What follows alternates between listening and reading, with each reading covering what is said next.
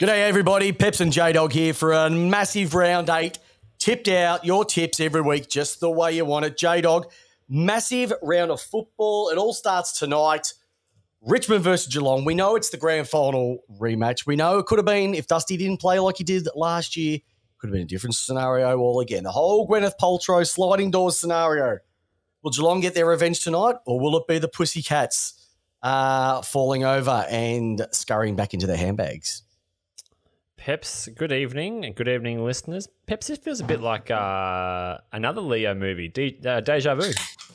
Uh, it was actually Denzel Washington. Yes, deja vu. Uh, we are one, close. Look, uh, just we'll keep it simple. We're transparent here. That's why you love us. Uh, we did record last night, and for some reason, the host of our podcast lost the episode, so we've had to re-record, and so you're getting the condensed version. So it's simply this: the Tigers going in. They've been playing some pretty good footy over the last couple of weeks. They took on a challenger, which was the Doggies last week. Yeah. It was a shame to see the Cats go down in Sydney, but you know the best team had to win. Uh, look, I'm just going to go with the strength of Richmond. They're back at the G. yeah. Um, the Cats, I think, will be a little bit scarred from last week. Dangerfield still not back. That is going to be a massive hole to fill. We've got a, I've got a. I've got a seven leg multi on this game for the punters club, so we're, we've got a fingers crossed that this one's going to come in. But I'm very, very bullish on the Tigers continuing their winning ways this week, and I reckon by about four goals. Oh, okay. So just like last season, this is sort of the seat. This is the round where the Tigers started to make their move. So I'm with you, Peps. Tigers by five goals for me. Beautiful. All right, let's move into Saturday action. Belter of a game, this one. Talking about even Stevens in a game that's potentially going to set one team alight and one team are going to be looking back on another wasted season. We're talking Twin about the Towers. Suns. Twin We're talking about, oh, the Suns, the pair of kings. Far and Wang are going to be playing tomorrow, as well as Ben and Max. The Suns versus the Saints, 145 our time, Metricon Stadium. Look, the Saints came back. Mind you, they didn't beat much. And the Suns played fantastic at the MCG. Mind you, they played Collingwood, which you could almost say wasn't much either. Mm. But if I had to put it down, who's been probably more consistent out of the two teams this year? Funny enough, I'm going with the Suns, mate. I reckon there's just something about them at the moment. Yeah, fair enough. Going back up to back up to Queensland, it's going to be a little bit warmer up there. The Saints, the pressure's all on them not to capitulate again. Ryder, once again, coming back makes a massive difference. But when you got the big fella down there, Mr. King, Mr. Ben King, the real king, the king of clubs, the king of goals. Um, When the ball goes down there. oh, when the ball goes down, oh, don't gets down there. They've got Corbett, they've got Rankine, they've got Alice, they've got everything. I'm going with the Suns. I'm going with the Suns, and they're going to do it easily. By how much? How many goals, Peps? Five goals. Five. 30 pointers, eh? Mm-hmm. Alrighty go. Fuck hell. You're in the uh you're on the on the Jack Daniels must be kicking in about now. Yep, the Jack Daniels are kicking in about now, and the, the margins are going to get bigger with every contest. Um I'm gonna go St Kilda by two goals. Okay, let's go into the 210 game. Geez, another one of those really ooh, tight as tight games. GWS. Once again, another team have playing good footy over the last couple of weeks. Whitfield made a massive difference to their midfield last week. Yeah, huge. Essendon, once again, the kids are playing some pretty good football. I, I did tip uh, Essendon to be finishing in my bottom four, and I think if they continue the way that they're going, they're not going to be bottom four. Far Yeah. from it. Yeah. At some stage, the kids have to tire a little bit. Thing is, with the Giants, they're going to be they're, they're much bigger bodies, and they're just going to smash them around the packs. And it's unfortunate that Jesse Hogan looks like he's going to be out. So that was that's going to it's not going to sway my tip. But I think the Giants, it's going to reduce the margin quite considerably, and I'm going the Giants by five goals. Brave man. I'm gonna go Essendon by two goals. Why? Um, I liked what the kids bought to the game yes uh, last week. Sorry. Um, and there's no rhyme or reason. I just don't have trust in GWS. I'm sorry, I just don't have trust in Oh, them. dude, they got Toby. They got the Tobester. How could you not love Toby Greene? Best player ever to pull on a They've had GWS to the jumper. Ferrari, they had keys to the Ferrari now for about seven seasons. And I'll tell you what, in every season. All right, 4:35 p.m. our time at Marvel Stadium could be the game of the round, and not maybe for the football interest, but the byproduct of this. North versus Collingwood.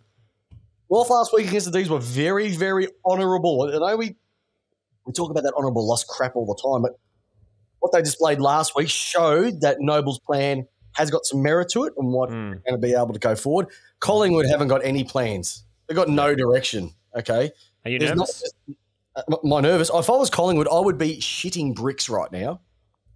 I, I would want. I would want it to be raining heavily, and it won't make a difference because they're going to be playing indoors. So there's nothing that's going to stop them.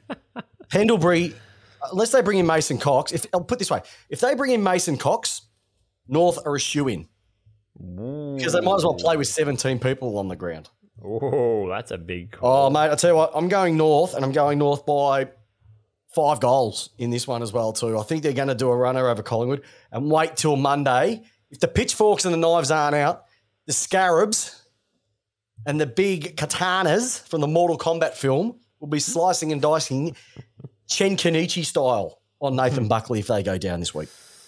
Yeah. Um, more to lose out of these two games. I think. I think North have played have been in most games that they've played this season, other than a couple of, of them. Early ones, yeah. Um, yeah, Collingwood. Oh, I think they've once again. It's another round. We're going to be talking about how they've got most to lose, and this is one of their games for them as well. They cannot lose this game. Oh yes, they can. You watch, they will. All right, seven twenty-five PM tomorrow at the MCG, and everybody loves the G. My team, the Melbourne Demons, versus the Swans of Sydney. I think the biggest thing to come out of this is a couple of things. First and foremost, good old John Longmire will be sitting in the box by himself. No assistant coaches are allowed to come down to the game due to COVID. Mm-hmm. So he'll be doing everything in by himself. So I think that's going to make a massive, massive impact on what he's going to be able to do. The other thing is uh, Isaac Heeney is going to be out, but we know Buddy Franklin and Dean Rampe are going to be coming back in. The D's are going to be out. Uh, going to be out. Uh, Tomlinson, No- unfortunately, did no his knee last week. Jones has been dropped. Baker's been dropped, but they do bring in James Harmes as well. And they're also bringing in Harrison Petty to bring in that centre half back spot, which I've got plenty of faith in as well too. So Okay. Look, one. last night I had a look at this and I went, oh, geez, I'm just scared. And, I'm, and I was going with Sydney, but I've had a couple of confidence boosters. Uh, I had a bit of a sit down with my Uncle Jack Mhm. and uh, we had a chat. We've had a bit of a drink together and I'm going with the D's. And I'm going with the D's by, uh, funny enough, five goals. Rightio. Um, like every race fan out there of the horses, get down and watch Buddy Franklin play if you can get down to the MCG. It's going to be one of the last times we're going to see him down in Melbourne, I reckon, this Yep. season or Yep, forever. I reckon he's, he's, he's, he's still dangerous. That's the thing. He's 48 years of age. Um, he's got a hot wife. And um, look, he's got travel- plenty of things going for him. Doesn't travel. Doesn't really travel outside of Melbourne. I mean, doesn't outside travel of Sydney. outside of, so he must know it's a farewell tour. It's um, it could be a bit like bit like Kiss. Um, Yep. It'll be his seventeenth goodwill tour, uh, a bit Um, like Saintly, but yeah, Tomlinson, Peps. I'm going to say it here. What an absolute. What what what a young player who has perspective on the world. Oh mate, Did his knee and is not about this. Look at this kid here has got these got this thing here. Look at Neale Daniher has got his things here. I just his post was amazing. no, he is. He, when he first came to the club last year and played his first few games on the wing and it wasn't working, we've gone, what have we got ourselves into? We throw him at centre half back. He had 21 one on one so far this year and only lost one of them. Like, we're not going to realise how much of a loss this guy's going to be. And you just watch a couple, like I said, I was watching a couple of replays over the last couple of hours. Yeah. And you just see how much of an impact that he allows Lever and May. So it's going to be a big, big Yeah. shoes to fill from Petty. But Petty's Yep. been sitting in the wings for quite a while, so I think he'll be able to do it quite well. And I just think the firepower for Melbourne up forward is going to make a, a massive difference. Oh. Papley's, Papley Yes. is one that Melbourne will have to watch as well. Uh, and Heeney being out makes a massive difference as well too. All right.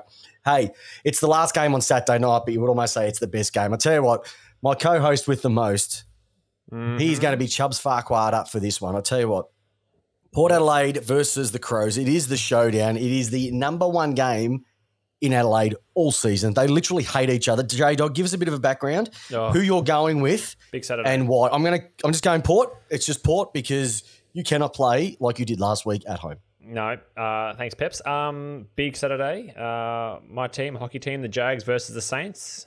Finish that game. We're going to have a big win, and then we're going to watch Port Adelaide have a big win as well. So for me, Port Adelaide all the way.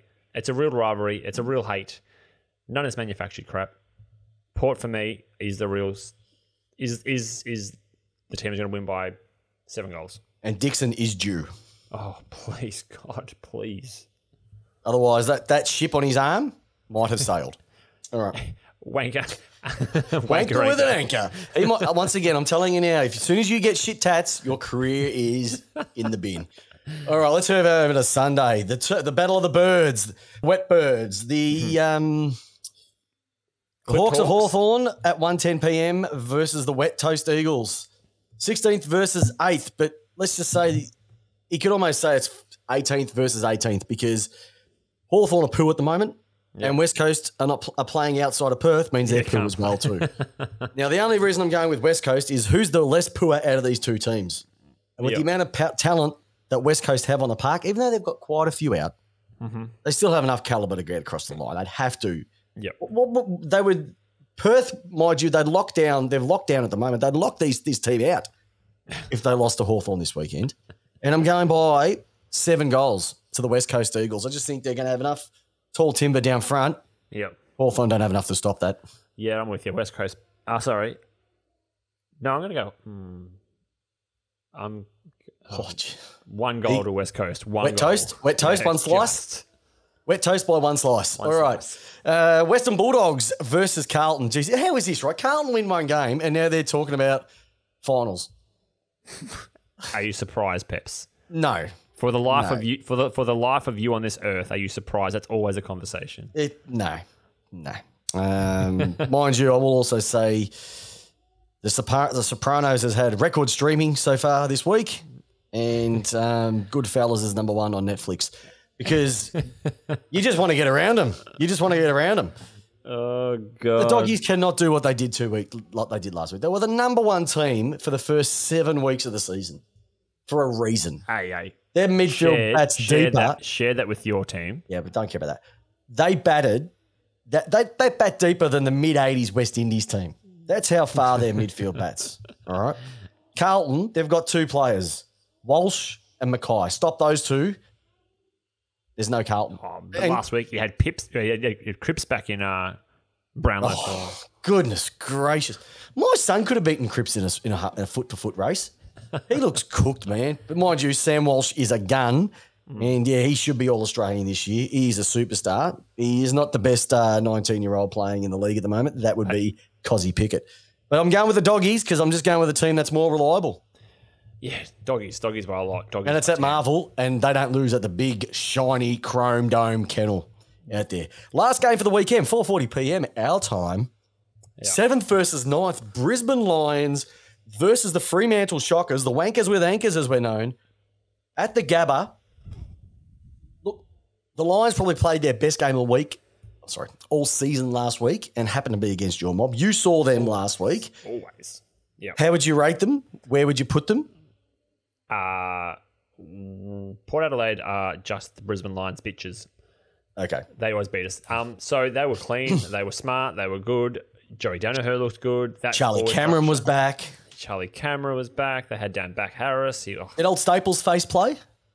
uh, no, yes, he did because Hamish Hartlett gave away a free kick to him. So yes, he did. Mitch Robinson, beautiful. Okay, I'm going with the Lions with this one by about seven goals. I think this is going to be a bit of a run in the park. Go over 39 and a half points with this one, I reckon. Yeah, I'm gonna go.